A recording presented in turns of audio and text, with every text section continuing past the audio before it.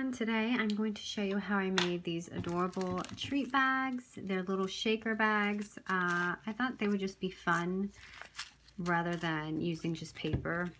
We're all shaker crazy, right? So here they are. I posted them on Instagram. Excuse my desk. It is a complete mess right now. Um, I'm in the middle of various projects and I really just wanted to do this tutorial because everyone keeps asking. So here we go. Now, when I did my tutorial, um, I mean my project, I obviously sewed. So I always try to do the alternative so that everyone can uh, follow along if they don't sew or have a sewing machine. So the first thing you're going to need is a page protector. These are the ones you can pick up from any, um, you know, hobby store, Walmart. It's just, that's all I used was this very simple page protector. So besides this, you're going to use, now I'm giving you a few alternatives. If you have a sewing machine, that's all you're going to need. If you do not have a sewing machine, you're going to need either tape and a fuse tool, or you can absolutely just do this with tape. Now this is double-sided clear red tape, which I prefer to use um, when I'm working with something clear because you can't really uh, see it. So, and this is the first time I'll actually be using um, the tape while I'm doing this tutorial, so just to test it. Also, you're going to need glitter and um, sequins if that's what you want to put inside, and also die cut stickers. I used a Dear Lizzy stickers for mine, and I have a sheet. I'm going to show you the sheet I used for it. So what I did was with the page protector, I just cut off one row right here. Oh, it's so hard to see with this glare. So there's this row and I cut off the holes at the end where you would insert it in the um, booklet or whatever it is. So this is what it will look like. This is extremely easy, you guys.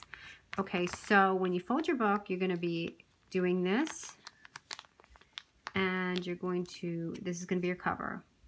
So what I did is for this last page, it's going to be your pocket. You can leave this, you know, you don't have to. There's two different ways you could do this. You could put it in a booklet and you can make this a pocket, seal it right here and have a little insert like that and just close it. But for me, what I did is I wanted a side pocket, so I just cut this into a triangle uh, shape. So let me just grab my scissors and I did it by eye. I don't have any measurements. So I'm just going to do it. And I know clear paper is so hard to see on camera, so I hope you can see this. So I'm just going to take it and make it a triangle shape. So you have right there is your pocket. Now this would be the time you probably want to fill up your shaker. So I'm going to just, all I did was the pocket in the front. I'm getting it everywhere. So it's probably going to be kind of sloppy because I have to cook dinner in a few minutes, but I really want to get this up. So bear with the sloppiness going on right now. okay. So, okay. So it's going to be like this. It's going to be your cover. That's going to be your pocket and it's going to be like this. So you're going to want to seal the top. That's going to be the very first thing you want to do. Now, if you have a sewing machine, this is the time you want to come in and just run it on the top. I'm going to use the fuse tool for an alternative for people. And if you are you don't have a fuse tool, this is the time you would take this double-sided tape. Oh my gosh, my hands are so dry, you guys. I'm sorry. I was working on my yard. Okay, so this is the time you would take um, the double-sided tape and insert in here. I'm going to use the fuse tool and just seal the top. And I hope it's heated up. I've been kind of heating it. And yeah, I'm using a plastic ruler instead of my metal one because I don't know where it is. Okay, let me just check this. And it's good to go. Okay. Now I'm going to seal this uh, triangle part up or else it's going to be loose with the fuse tool. If you want to add sequins in there, go ahead. I left mine clear. So there's that. Now I'm just going to take some double-sided tape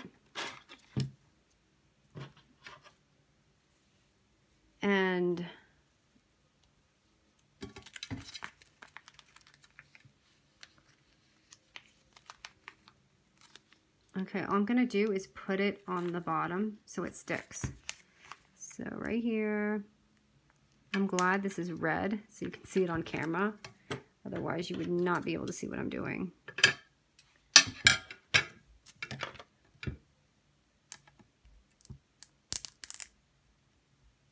Oh, I just took off the whole tape. Seriously? Okay.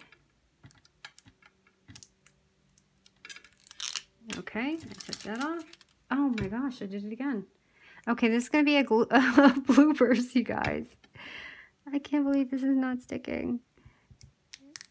It's coming off. I'm having a hard time getting it off. It wants to stick. Bear with me, you guys. I can't see.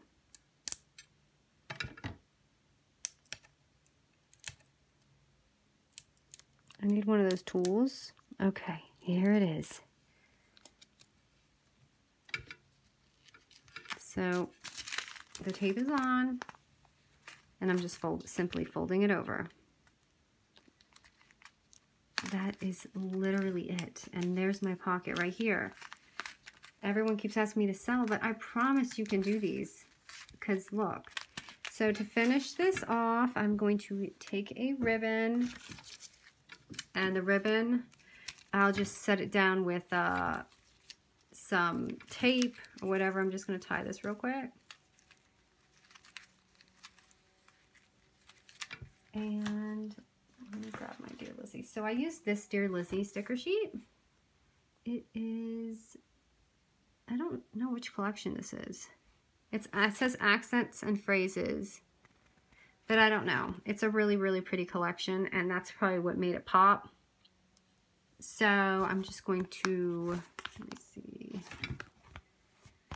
just stick a random flower on there. And you can use the thicker uh, chipboard ones. That will look really pretty. I originally had them on, but I really just liked the way it looked with the sticker. So that is it, you guys. That is all I did to make that pretty little shaker. It was so easy, and I cannot wait to see what you guys create. Thank you for watching.